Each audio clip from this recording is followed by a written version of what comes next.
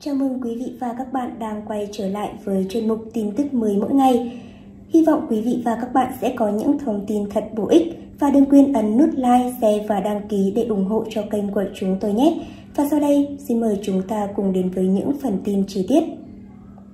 Toàn cảnh đám cưới Quế chân Võ Minh Lâm, cặp đôi khiến người hâm mộ bất ngờ với những hình ảnh trong hôn lễ sáng nay.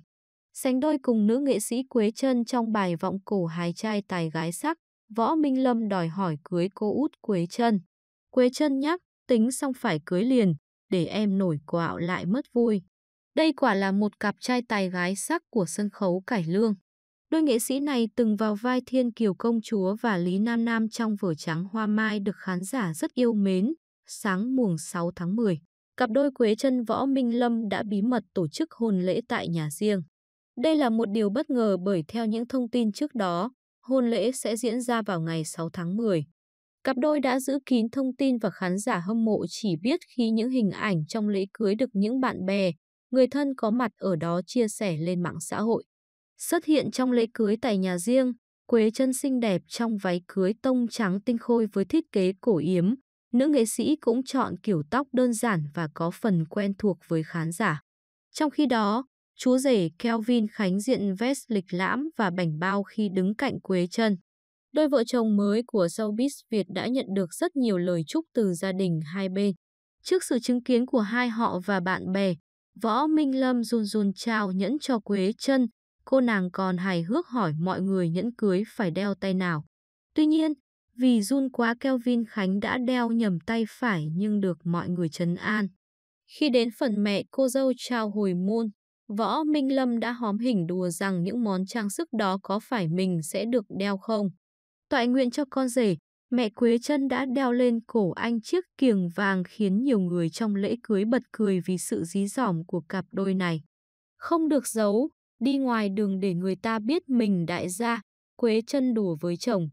Vậy là sau 4 năm yêu nhau trong bí mật, Quế Trân Võ Minh Lâm đã chính thức về chung một nhà trong sự chúc phúc của gia đình và khán giả. Gặp nhau từ năm 2013 và đồng hành với nhau trong nhiều dự án âm nhạc, chương trình truyền hình, Quế Trân Võ Minh Lâm có lẽ là cặp đôi tình chị em hiếm hoi được khán giả ủng hộ và cực kỳ yêu mến. Cả hai đã tổ chức lễ đính hôn hồi tháng 4 trong sự ngỡ ngàng của khán giả. Nhiều người khi nhìn thấy hình ảnh trong lễ đính hôn còn bán tin bán nghi đây là một phân cảnh trong em. Vì mới của cả hai bởi trước đó, Quế Trân Võ Minh Lâm luôn phủ nhận mỗi khi được hỏi về mối quan hệ của cả hai. Được biết, tiệc cưới sẽ diễn ra tại khi biệt thự ở quận 2 thành phố Hồ Chí Minh. Trước lễ cưới 2 ngày, nhân viên đã thất bật trang trí cho không gian này. Tiệc cưới giới hạn khách mời, quy định mọi người mặc đồ trắng và sẽ được bảo vệ nghiêm ngặt để giữ không gian riêng tư cho gia đình, bạn bè hai bên. Là một nghệ sĩ cải lương nhưng khán giả lại thường xuyên thấy Võ Minh Lâm xuất hiện nhiều ở các game show. Chương trình truyền hình Anh cũng cho biết mình đang hướng tới hình tượng nghệ sĩ đa năng, đa phong cách với mong muốn mang tới nhiều điều thú vị mỗi khi anh xuất hiện trước khán giả. Nhìn gương mặt điển trai và trẻ trung, ít ai biết được rằng Võ Minh Lâm đã vào nghề cách đây hơn 10 năm. Sở hữu giọng ca lạ, ngọt ngào và đầy nội lực, mỗi khi anh hóa thân vào một vai diễn đều tạo đều tạo ấn tượng với khán thính giả hâm mộ. Đối với anh sân khấu cải lương là thánh đường, tuy không còn nhiều đất diễn như trước nhưng là lớp nghệ sĩ kế thừa, anh vẫn luôn cố gắng giữ lửa. Và việc giữ lửa ấy được anh thể hiện bằng nhiều cách. Anh tham gia các chương trình truyền hình, game show với mục đích chính vẫn là mang đến cảm xúc nghệ thuật cho người xem. Dù diễn trên sân khấu nào đi nữa, thì sứ mệnh của một nghệ sĩ trẻ như Lâm là cháy hết mình trên sân khấu. Xã hội bây giờ ngày càng đổi mới, nghệ thuật cũng vậy. Những môi trường sân khấu hiện đại chính là chất xúc tác giúp Lâm hoàn thiện hơn trong cách diễn. Làm mới nghệ thuật cải lương với mong mỏi một ngày gần cải lương được khán giả yêu ái như trước, Võ Minh Lâm bộc bạch. Hiện tại, anh đang gắn bó với sân khấu Lê Hoàng để phục dựng các tuồng cổ. Anh thổ lộ, Sắp tới mình sẽ tham gia một chương trình thi hát vọng cổ với vai trò huấn luyện viên. Qua nhiều thử thách, bản thân Võ Minh Lâm đã nghiệm ra được một điều cho nghề. Lắm lúc tôi muốn đổi nghề khác, nhưng không phải vì thế mà tôi bỏ nghề.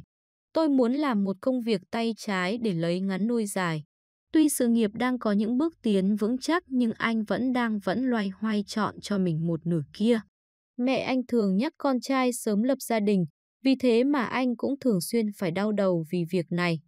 Tôi tìm cho mình một người bạn đời, vừa tốt tính lại nấu ăn giỏi. Mẹ tôi mong sớm có cháu ẵng bồng nên luôn mong mỏi một người con dâu trong gia đình. Nhưng tùy duyên thôi, duyên mà đến rồi thì chạy cũng không thoát được, Võ Minh Lâm chia sẻ. Anh cũng cho biết, mẹ anh rất hiểu gu con trai nên thường xuyên nấu những món như bánh canh ghẹ, thịt kho tiêu cho anh thưởng thức. Cũng chính vì lẽ đó mà trong thang điểm chọn người yêu thì việc nấu ăn ngon chiếm số điểm cao nhất. Võ Minh Lâm cũng rất thích vào bếp để nấu ăn, phụ mẹ và hơn hết là tự nấu ăn anh sẽ được ăn nhiều hơn ở tiệm. Món khoái khẩu của anh là sầu riêng và canh chua nấu theo kiểu người miền Tây. Vì mê ăn nên anh đã tham gia chương trình khẩu vị ngôi sao để được chính thần tượng của mình trực tiếp nấu ăn trên khấu cho anh thưởng thức. Cảm ơn quý vị và các bạn đã quan tâm theo dõi. Nếu thích, hãy like và share. Và đừng quên bấm nút đăng ký tại đây để xem thêm nhiều video hấp dẫn hơn của chúng tôi. Xin chào và hẹn gặp lại.